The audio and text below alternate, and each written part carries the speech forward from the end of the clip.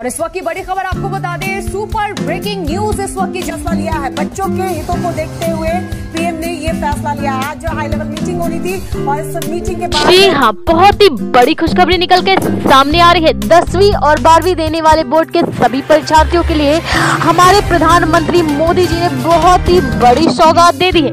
कौन सी है वो सौगात? सबसे पहले हम आपको बता दें, हमारे प्रधानमंत्री मोदी जी ने और हमारे बोर्ड के सचिव ने रिज़ल्ट की डेट फाइनल कर दी है। इस दिन दो बजे आपका रिज़ल्ट आ जाएगा। तो क्या कुछ डेट और कौन सा दिन है? सब कुछ बताएँगे। एक एक चीज़ हम आपको बताते चलेंगे। इससे पहले आप ये जान लीजिए, कल रात को हुई हाई लेवल बैठक के माध्यम से बहुत ही बड़ी घोषणा कर दी गई है।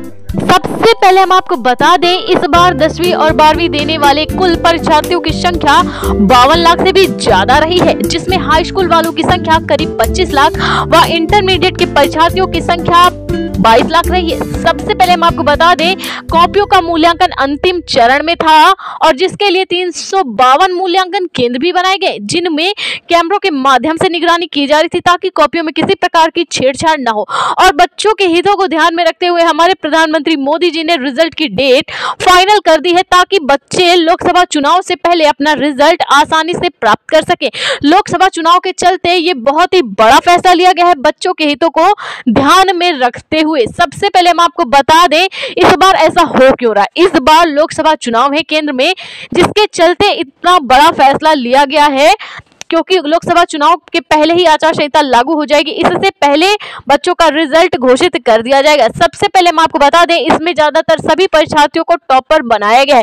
जिन भी परीक्षार्थियों ने अपनी कॉपी को बहुत ही अच्छी तरह से साफ़ सुथरा ढंग से लिखा है, उनको तीन विषयों में बोनस अंक यानी कि बीस नंबर मुफ़्त मिले हैं। ठीक है, ये बीस नंबर से आप टॉपर बन सकते हैं। ठीक है, सबसे पहले हम आपको बता दें, बीस नंबर के साथ साथ बड़ी घोषणा की गई है कि इस बार किसी भी परीक्षार्थी को फेल तो बिल्कुल भी नहीं किया जाएगा। हर परीक्षार्थी को पास किया जाएगा, चाहे उसने कैसा भी लिखा हो, चाहे जैसी भी कॉपी लिखी हो, हर परीक्षार्थी को पास किया जाएगा। इस बार लोकसभा चुनाव के चलते ये बड़े फैसले की घोषणा हमारे प्रधानमंत्री मोदी जी ने अपनी आधिकारिक